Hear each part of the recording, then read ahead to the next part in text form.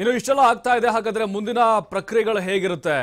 ಸರ್ಕಾರ ರಚನೆಗೆ ರಾಜ್ಯಪಾಲರ ಬಳಿ ಹಿಂದೆ ಹಕ್ಕು ಮಂಡಿಸಲಾಗುತ್ತೆ. ಮೊದಲು ನಡೆಯೋದು ಸಿ ಎಲ್ ಪಿ ಸಭೆ ಆಗುತ್ತೆ. ಅದರಲ್ಲಿ ಶಾಸಕಾಂಗ ಪಕ್ಷದ ನಾಯಕರನ್ನ ಆಯ್ಕೆ ಮಾಡಲಾಗುತ್ತೆ ಸಿದ್ದರಾಮಯ್ಯನವ್ರನ್ನ. ಆಮೇಲೆ ಅವರು ರಾಜ್ಯಪಾಲರ ಬಳಿ ತೆರಳಿ, ಅಥವಾ ಪತ್ರದ ಮುಖೇನವಾಗಿ, ಅಥವಾ ಅವರೇ ಹೋಗಬೇಕು ಅಂತ ಏನಿಲ್ಲ, ಹೋಗ್ಬೋದು ಕೂಡ. ರಾಜ್ಯಪಾಲರಿಗೆ ತಿಳಿಸ್ತಾರೆ. ನಮ್ಮ ಪಕ್ಷ ಮ್ಯಾಂಡೇಟರಿ ತಗೊಂಡಿದೆ, ಅಂದರೆ ಬಹುಮತವನ್ನು ತೆಗೆದುಕೊಂಡಿದೆ. ನಮ್ಮ ಸರ್ಕಾರ ರಚನೆಗೆ ಅವಕಾಶ ಮಾಡಿಕೊಡಿ ಅಂತ. ರಾಜ್ಯಪಾಲರು ಆಮೇಲೆ ಆಹ್ವಾನವನ್ನು ಕೊಡ್ತಾರೆ. ಶನಿವಾರ ಹನ್ನೆರಡು ಮೂವತ್ತಕ್ಕೆ ಪ್ರಮಾಣ ವಚನ ಸ್ವೀಕಾರ ಕಾರ್ಯಕ್ರಮ ಇರುತ್ತೆ. ಡಿ ಪಿ ಆರ್ ಎ ಆ ಒಂದು ಅಧಿಕಾರಿಗಳಿಗೆ ಸೂಚನೆಯನ್ನು ಕೊಡ್ತಾರೆ. ಅದಾದ ಮೇಲೆ ಎಲ್ಲ ವ್ಯವಸ್ಥೆಯನ್ನು ಮಾಡಿಕೊಳ್ತಾರೆ.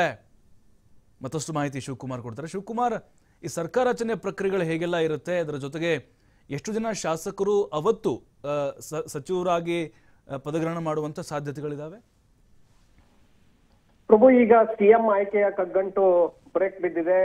ಸಿದ್ದರಾಮಯ್ಯ ನೂತನ ಮುಖ್ಯಮಂತ್ರಿಗಳಾಗಿ ಈಗ ಆಯ್ಕೆ ಆಗಿದ್ದಾರೆ ಡಿ ಕೆ ಶಿವಕುಮಾರ್ ಉಪಮುಖ್ಯಮಂತ್ರಿಯಾಗಿ ಈಗ ಸೆಲೆಕ್ಟ್ ಆಗಿದ್ದಾರೆ. ಸೊ ಇಬ್ಬರು ಕೂಡ ಈಗ ಅಧಿಕೃತವಾಗಿ ಆಯ್ಕೆ ಆಗಿರೋದ್ರಿಂದ ಇವತ್ತು ಬೆಳಿಗ್ಗೆ ಹತ್ತು ಗಂಟೆಗೆ ದೆಹಲಿಯ ಎಐಸಿಸಿ ಹೆಡ್ ಕ್ವಾರ್ಟರ್ಸ್ ಅಂದ್ರೆ ಎಐಸಿಸಿ ಕಚೇರಿಯಲ್ಲಿ ಸುದ್ದಿಗೋಷ್ಠಿಯಲ್ಲಿ ಇಬ್ಬರ ಹೆಸರನ್ನ ಫೈನಲ್ ಅಂದ್ರೆ ಅಧಿಕೃತವಾಗಿ ಘೋಷಣೆ ಮಾಡಲಾಗತ್ತೆ ಪಕ್ಷದ ಕಡೆಯಿಂದ. ಪಕ್ಷದ ಕಡೆಯಿಂದ ಘೋಷಣೆ ಆಯ್ತು ಅಂದ್ರೆ ಅವರು ಅಧಿಕೃತ ಅಭ್ಯರ್ಥಿಗಳು ಅನ್ನುವಂಥದ್ದನ್ನ ಅಲ್ಲಿ ನಾವು ಗಮನಿಸಬೇಕಾಗತ್ತೆ. ನಂತರ ಇವತ್ತು ಸಂಜೆ ಏಳು ಗಂಟೆಗೆ ಬೆಂಗಳೂರಿನಲ್ಲಿರುವಂತಹ ಇಂದಿರಾ ಭವನದಲ್ಲಿ ಕಾಂಗ್ರೆಸ್ ಶಾಸಕಾಂಗ ಪಕ್ಷದ ಸಭೆಯನ್ನ ಕರೆಯಲಾಗಿದೆ. ಆ ಸಭೆಯಲ್ಲಿ ಮತ್ತೊಮ್ಮೆ ಶಾಸಕರು, ವಿಧಾನ ಪರಿಷತ್ ಸದಸ್ಯರು, ಸಂಸದರು, ರಾಜ್ಯಸಭಾ ಸದಸ್ಯರು ಕೂಡ ಅಲ್ಲಿ ಆಮಂತ್ರಣವನ್ನ ಕೊಡಲಾಗಿದೆ. ಆ ಸದಸ್ಯರ ಒಂದು ಒಪ್ಪಿಗೆಯನ್ನ ಪಡ್ಕೊಳ್ಬೇಕಾಗತ್ತೆ. ಅಂದ್ರೆ ಒಮ್ಮತದಿಂದ, ಆ, ಇವರು ನಮ್ಮ ನಾಯಕರು ಪಕ್ಷದ ನಾಯಕರು, ಸಿ ಎಲ್ ಪಿ ನಾಯಕರು ಅನ್ನುವಂಥದ್ದನ್ನ ಶಾಸಕರು ಒಪ್ಕೊಳ್ಬೇಕಾಗತ್ತೆ. ಆ ಶಾಸಕರ ಒಪ್ಪಿಗೆಯ ಮೇಲೆ ಶಾಸಕಾಂಗ ಪಕ್ಷದ ನಾಯಕನ ಆಯ್ಕೆ ಆಗತ್ತೆ. ಯಾಕಂದ್ರೆ ಅದು ಪಕ್ಷಗಳಲ್ಲಿರುವಂತಹ ನಿಯಮ. ಯಾರನ್ನ ಶಾಸಕಾಂಗ ಪಕ್ಷದ ನಾಯಕನನ್ನಾಗಿ ಶಾಸಕರು ಆಯ್ಕೆ ಮಾಡ್ತಾರೆ, ಅವರು ಬಹುಮತ ಬಂದಿದ್ದೇ ಆದ್ರೆ ಸರ್ಕಾರದ ಮುಖ್ಯಮಂತ್ರಿಗಳಾಗ್ತಾರೆ. ಒಂದು ವೇಳೆ ಬಹುಮತ ಇಲ್ಲ ಅಂದ್ರೆ ಆ ಶಾಸಕಾಂಗ ಪಕ್ಷದ ನಾಯಕನನ್ನಾಗಿ ಯಾರನ್ನ ಆಯ್ಕೆ ಮಾಡಲಾಗಿರುತ್ತೆ, ಅವರು ವಿರೋಧ ಪಕ್ಷದ ನಾಯಕರಾಗಿ ಆಯ್ಕೆ ಆಗ್ತಾರೆ ಬಹುತೇಕವಾಗಿ. ಹಾಗಾಗಿ ಈಗ ಕಾಂಗ್ರೆಸ್ ಮೆಜಾರಿಟಿ ಬಂದಿರೋದ್ರಿಂದ ಕಾಂಗ್ರೆಸ್ ಸರ್ಕಾರ ರಚನೆಯನ್ನ ಮಾಡ್ತಾ ಇದೆ. ಇವತ್ತಿನ ಶಾಸಕಾಂಗ ಪಕ್ಷದ ಸಭೆಯಲ್ಲಿ ಸಿದ್ದರಾಮಯ್ಯ ನಮ್ಮ ನಾಯಕರು ಅನ್ನುವಂಥದ್ದನ್ನ ಶಾಸಕರು ಆಯ್ಕೆ ಮಾಡ್ತಾರೆ, ನಿಯಮಗಳ ಪ್ರಕಾರ. ಆ ಶಾಸಕಾಂಗ ಪಕ್ಷದ ನಾಯಕ ಯಾರಾಗ್ತಾರೆ? ಸಿದ್ದರಾಮಯ್ಯ. ಅವರು ಹಕ್ಕನ್ನ ಮಂಡನೆ ಮಾಡ್ತಾರೆ. ರಾಜ್ಯಪಾಲರ ಮುಂದೆ ಹಕ್ಕನ್ನ ಮಂಡನೆ ಮಾಡ್ತಾರೆ. ಅಂದ್ರೆ ನಮ್ಮ, ನಮ್ಗೆ ನೂರ ಮೂವತ್ತೈದು ಸೀಟುಗಳು ಬಂದಿದೆ. ಮೆಜಾರಿಟಿ ಇದೆ ನಮ್ಗೆ. ನಮ್ಗೆ ಸರ್ಕಾರವನ್ನ ರಚನೆ ಮಾಡೋದಕ್ಕೆ ನೀವು ಅವಕಾಶವನ್ನ ಕಲ್ಪಿಸ್ಕೊಡ್ಬೇಕು ಅಂತೇಳಿ ಒಂದು ಪ್ರಸ್ತಾವನೆಯನ್ನ ಅವರ ಮುಂದೆ ಇಡ್ತಾರೆ, ರಾಜ್ಯಪಾಲರ ಮುಂದೆ.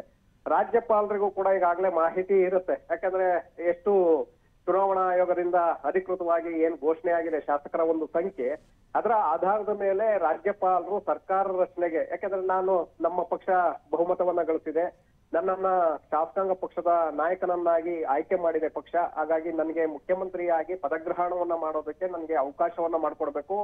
ಹೊಸ ಸರ್ಕಾರವನ್ನ ರಚನೆ ಮಾಡೋದಕ್ಕೆ ನನಗೆ ನೀವು ಸಹಕಾರವನ್ನ ಮಾಡ್ಕೊಡ್ಬೇಕು, ಅವಕಾಶವನ್ನ ಕಲ್ಪಿಸ್ಕೊಡ್ಬೇಕು ಅನ್ನುವಂತ ಒಂದು ಪ್ರಸ್ತಾವನೆಯನ್ನ ರಾಜ್ಯಪಾಲರ ಮುಂದೆ ಇಡ್ತಾರೆ. ರಾಜ್ಯಪಾಲರು ಆಗ ಆ ಒಂದು ಸಂಖ್ಯೆಯನ್ನ ಆಧರಿಸಿ, ಹೌದು, ಇವರಿಗೆ ಬಹುಮತ ಇದೆ, ಇವರ ಶಾಸಕರ ಸಂಖ್ಯೆ ಹೆಚ್ಚಿದೆ ಸರ್ಕಾರದ ರಚನೆಗೆ ಅಗತ್ಯವಾದಂತಹ ಪೂರ್ಣ ಬಹುಮತ ಈ ಪಕ್ಷಕ್ಕಿದೆ ಅನ್ನುವಂತ ಆಧಾರದ ಮೇಲೆ ಮುಖ್ಯಮಂತ್ರಿಯಾಗಿ ಅಧಿಕಾರವನ್ನ ಸ್ವೀಕರಿಸೋದಕ್ಕೆ ಸಿದ್ದರಾಮಯ್ಯ ಅವರಿಗೆ ರಾಜ್ಯಪಾಲರು ಸಮ್ಮತಿಯನ್ನ ಕೊಡ್ತಾರೆ. ಸಮ್ಮತಿಯನ್ನ ಕೊಟ್ಟ ನಂತರ ಆ ಪದಗ್ರಹಣ ಕಾರ್ಯಕ್ರಮ ನಡೆಯುತ್ತೆ. ಶನಿವಾರ ಮಧ್ಯಾಹ್ನ ಹನ್ನೆರಡು ಮೂವತ್ತಕ್ಕೆ ಪದಗ್ರಹಣ ಕಾರ್ಯಕ್ರಮಕ್ಕೆ ಈಗ ಸಮಯ ಕೂಡ ನಿಗದಿಯಾಗಿದೆ. ಇವತ್ತು ಹತ್ತು ಗಂಟೆಗೆ ಏನು ಎಐಸಿಸಿ ಕಚೇರಿಯಲ್ಲಿ ಸುದ್ದಿಗೋಷ್ಠಿ ನಡೆಯುತ್ತೆ. ಆ ಸುದ್ದಿಗೋಷ್ಠಿಯಲ್ಲಿ ಅಧಿಕೃತವಾಗಿ ಆ ಪದಗ್ರಹಣ ಕಾರ್ಯಕ್ರಮದ ಒಂದು ಸಮಯವನ್ನು ಕೂಡ ಘೋಷಣೆ ಮಾಡುವಂತ ಸಾಧ್ಯತೆಗಳಿದೆ.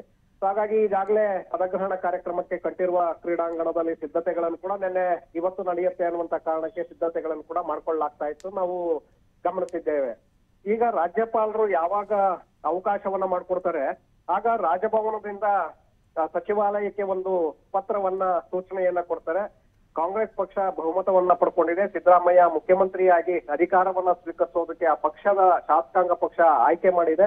ಹಾಗಾಗಿ ನೀವು ಮುಂದಿನ ಪ್ರಕ್ರಿಯೆಗಳು, ಸರ್ಕಾರದ ಕಡೆಯಿಂದ ಯಾವ ಪ್ರಕ್ರಿಯೆಗಳಾಗಬೇಕು, ಆ ಒಂದು ಪ್ರಕ್ರಿಯೆಯನ್ನ ಕಾರ್ಯಾಂಗದ ವ್ಯಾಪ್ತಿಯಲ್ಲಿ ಬರುವಂತಹ ಪ್ರಕ್ರಿಯೆಗಳನ್ನ ನೀವು ಮುಂದುವರಿಸಿ ಅನ್ನುವಂತ ಒಂದು ಸುತ್ತೋಲೆಯನ್ನ ರಾಜ್ಯ ರಾಜಭವನದಿಂದ ಸಚಿವಾಲಯಕ್ಕೆ ಕಳಿಸ ರವಾನೆಯಾಗತ್ತೆ. ಯಾವಾಗ ಸಚಿವಾಲಯಕ್ಕೆ ಅಂದ್ರೆ ಇಲ್ಲಿ ಡಿಪಿಆರ್ ಆಡಳಿತ ಮತ್ತೆ ಸಿಬ್ಬಂದಿ ಸುಧಾರಣಾ ಇಲಾಖೆ ಅದೇ ಸಂಪೂರ್ಣವಾದಂತಹ ಸಂಪೂರ್ಣವಾದಂತ ಅಧಿಕಾರಿಗಳ ಒಂದು ಕಾರ್ಯಾಂಗದ ವ್ಯಾಪ್ತಿಯನ್ನ ನೋಡ್ಕೊಳ್ಳುವಂತ ಒಂದು ಆ, ಇಲಾಖೆ. ಆ ಡಿಪಿಆರ್ಗೆ ಪತ್ರ ರವಾನೆ ಆಗ್ತಾ ಇದ್ದಾಗೆ ಡಿಪಿಆರ್ನಿಂದ ಸಂಬಂಧಪಟ್ಟಂತಹ ಅಧಿಕಾರಿಗಳಿಗೆ ಒಂದು ಸಂದೇಶವನ್ನ.